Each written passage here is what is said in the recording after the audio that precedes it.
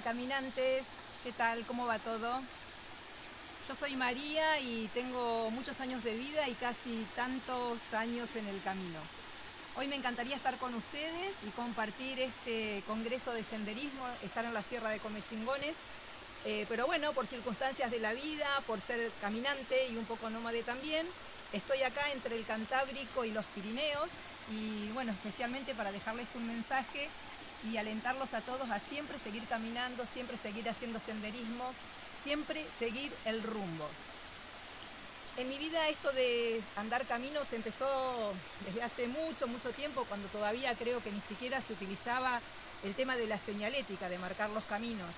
Me acuerdo que cuando mis dos niños eran muy pequeños, bebés, eh, yo iba a la sede de Parques Nacionales, cerca de Plaza San Martín, en Buenos Aires capital, y me daban fotocopias de mapas enormes que después pegaba y les ponía una tela rústica detrás y armaba un mapa. Y bueno, por ejemplo, esto que hoy constituye la maravillosa huella andina y que tuve la suerte y el privilegio de haber sido la primera en caminar sin saberlo, no por jactarme, sino que fue una sorpresa también para mí, hacíamos senderos que hoy constituyen esa huella pero que nos llevaba un montón de días hacerla sin señalética, por ejemplo, remontar el río Auquinco en cuatro días con dos pequeños, una amiga, sus dos hijos, y la mochila enormemente cargada de comida para sobrevivir 35 o 40 días fuera de la civilización. Eh, más allá de eso, en mi vida siempre me pasó que así como la gente, hombres, mujeres, se enamoran unos de otros, eh, a mí siempre me pasó que veía o veo aún una línea en un mapa, una línea que atraviesa de un punto a otro, y a mí me nace ese enamoramiento. Así que quienes alguna vez han estado enamorados saben de qué estoy hablando. Yo desde el momento en que veo una línea que surca un mapa, ya quiero estar ahí y no puedo dejar de pensar en cómo llegar a conseguir eso. Así fue que, bueno, una vez se me ocurrió caminar, cruzar los Cárpatos a pie, que fuimos con uno de mis hijos, con Martín, y en ese momento sentí un llamado aún más poderoso. Y me di cuenta que si bien el mar es muy bello para todos y uno siempre quiere llegar al mar como algo enorme e inmenso, a mí las montañas me enloquecían más que el mar. Sentí que estar arriba de una montaña era casi la posibilidad de tocar el cielo con las manos y es esa posibilidad. Y a partir de entonces me dediqué mucho más a hacer senderismo y a caminar montañas. Después de eso vino la huella andina, eh, vino también la ruta Alicia, que es una ruta maravillosa en Turquía, mm, que bueno, surca toda una ruta histórica también en la península de Teca, sobre los montes Tauro y a la vera del Mediterráneo. Y son rutas que, en las que uno solo puede descubrir todo lo que hay en ellas, ya sea de la naturaleza o de los vestigios históricos que han quedado si las hace solamente caminando. Y bueno, después también la huella andina, ¿no? Y arremetí con los Himalayas ya, eh, bueno, llena de énfasis y llena de ánimo, ¿no? Y también es algo que se puede.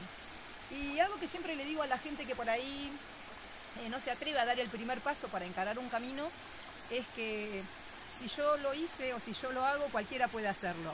Porque no sé si nací para esto, eh, no tengo una vida de formación deportiva, eh, soy una persona de lo más sencilla, mm, no tengo demasiado dinero, solo trabajo como todo el mundo y en principio cuando empecé a caminar ni siquiera tenía las cosas técnicas a las cuales uno después se va haciendo y va aprendiendo, eh, que es mejor una ropa de lycra, por ejemplo, y una mochila que agarre bien a la espalda o la cintura, que no cuelgue de los hombros. Pero todo eso, en principio, incluso cuando hice la huella andina, yo no lo sabía para nada.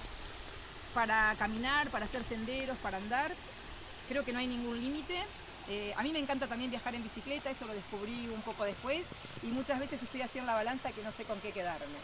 Em, deseo que todos puedan cumplir con los sueños de caminar eh, sin mirar atrás, sin quedarse atascados en el camino y arremetiendo contra lo que sea. Muchas veces nos vamos a perder, es normal que nos perdamos, y esa posibilidad de perdernos también hay que agradecerla porque la mayoría de las veces nos va, nos va a llevar a lugares aún mejores que aquel al que creíamos que estábamos destinados. Así que bueno, si mi experiencia eh, puede servir de algo a alguien, eh, quiero decir que bueno, ya soy bastante grande, siempre caminé con mis hijos desde que eran pequeños, o sea que tampoco hay un límite de decir caminar con los niños también se puede. Eh, se puede siempre llevar la mochila con la comida necesaria. Estamos asegurados en cualquier lugar del camino si tenemos, por ejemplo, la tienda de campaña o una, una buena bolsa de dormir y la comida necesaria para sobrevivir. Tampoco es necesario cuando uno quiere salir a caminar tratar de formar un grupo o ver de ir con alguien. Uno bien puede salir a caminar solo y también creo que es una experiencia maravillosa. Yo he hecho muchos senderos sola y me he dado cuenta que el éxtasis al que uno llega al completar tanta belleza, al contemplar tanta belleza, eh, nos lleva en un momento a estar frente a un paisaje soberbio y sentirlo tan plenamente al presente de lo que uno está viendo, de hablar en voz alta, ¿no? Uno suele decir, wow, qué belleza. Mm, bueno, yo agradezco muchísimo que me hayan invitado a estar con ustedes hoy. Eh, quiero que sepan que todos aquellos que quieran hacer algún camino, que sepan un poquitito de mi experiencia o se hayan enterado, pueden contar conmigo, que siempre respondo todos los mails que me envían.